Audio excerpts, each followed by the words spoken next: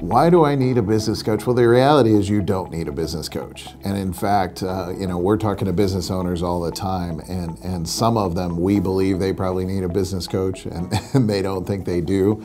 Uh, the reality is you don't need a business coach unless you actually want to grow and you're willing to listen to somebody.